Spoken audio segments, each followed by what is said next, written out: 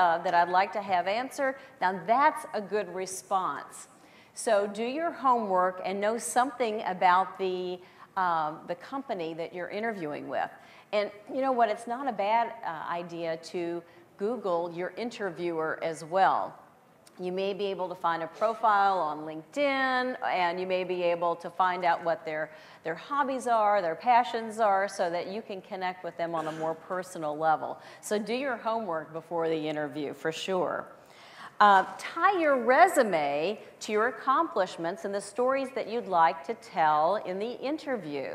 So be sure that your resume captures those great stories about you that you would like to share.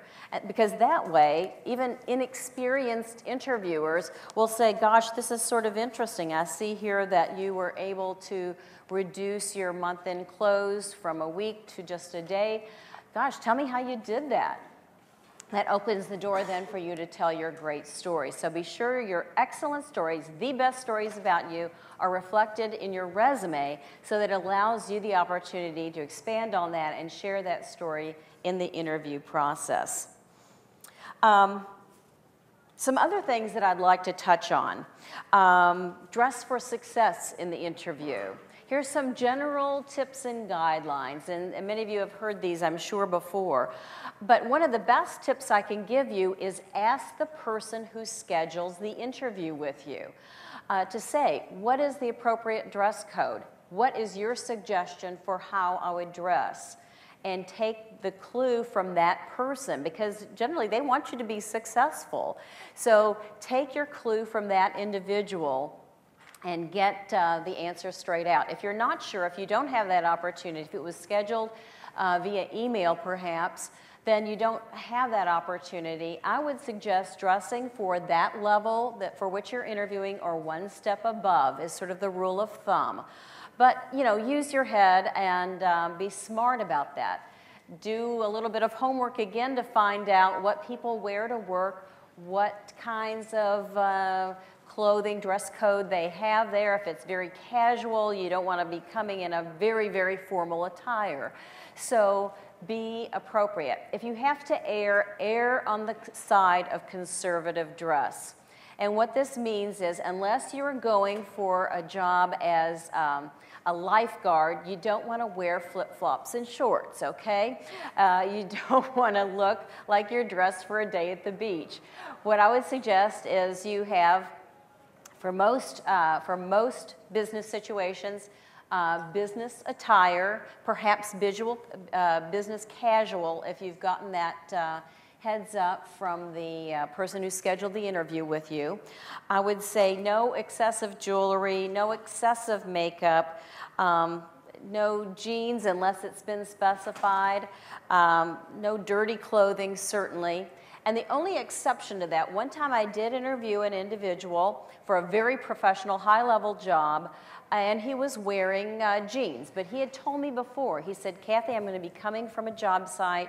I'm going to be wearing jeans for this work site. It's, it's, it's going to be in a dirty work environment. There's some inventory stuff that we're doing. He said, so I really, if, if we need to reschedule the interview, I'll be glad to do that, but I'm going to be coming in jeans. Is that acceptable? And I said, absolutely. And he again reminded me that when he saw me that um, he was coming from the other job site and he apologized again for his informal attire. So I think there, there are times when it can be okay, but I think you really have to set it up to be okay in order for that to work. So no flip flops, no shorts, no baseball hats, um, that sort of thing. So you want to look business professional. And then following up, some suggestions here. First of all, when you're in the interview, ask about what the next steps are and what the time frame is so that you get kind of an idea of where we're going from here. So, am I going to know in a week? Is it going to be a month? Is it going to be 3 months? Because any one of those time frames may be uh, what they believe is acceptable or what their normal time frame is. So ask what the time frame is, what the next steps are. Is the next step a job offer? Is it another interview? Is it a series of interviews? Are there tests? Uh, is there some sort of testing involved? Will I need to be providing references. Find out all that information before you leave so you have a really good idea. Also, you may want to set an expectation. If they say, well, gosh, we should get back to you no later than one week, then you might want to say, well, would it be acceptable if I haven't heard from you in one week to follow up? And how would you prefer I follow up? Telephone call, email, whatever. So you clear that with a person before you ever leave the interview. And so I think that's a really, really great tip because sometimes we just don't know where it's going from there. And then you're just sitting there waiting and wondering. And you should have an idea of what that time frame is. Um, you should always, always, always send a thank you note. And I have to say, even though in my job now I interview mainly fairly senior level professionals, it is rare for me to receive a thank you note. And it absolutely sets those individuals apart because immediately I think, wow, this is a professional.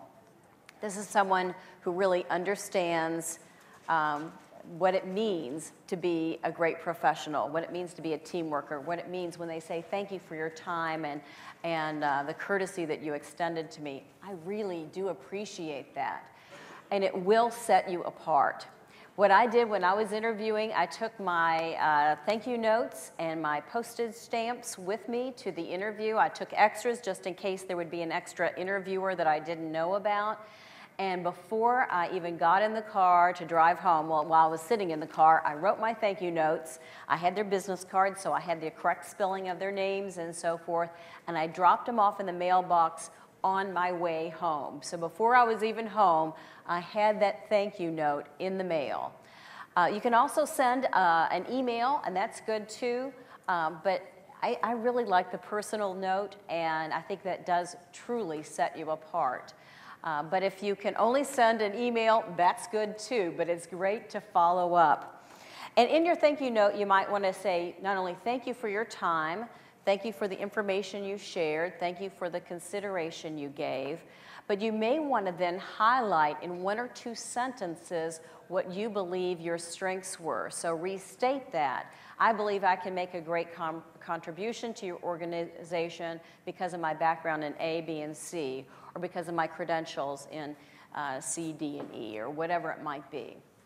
So um, have that thank you note, and it's a great not only way to set you apart, but to remind that interviewer of your great skills and attributes that you bring to the job. Uh, and then finally, um, uh, follow up, but don't be a pest.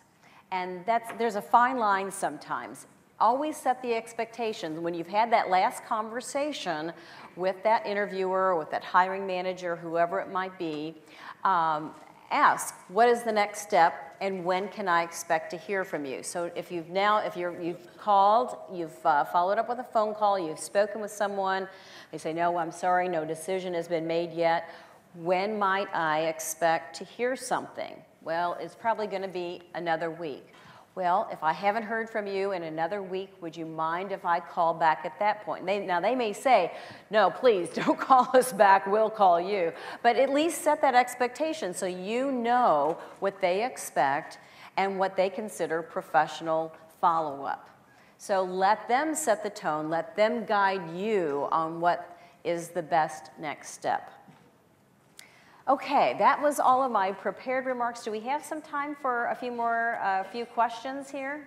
We have, okay, a few uh, minutes for questions? Yes. My problem is I can't seem to get in the door. Um, I have a lot of experience, which puts me in the 50 plus age group. Mm-hmm. Um, if I can get in the door, I, my interview so much better. Right.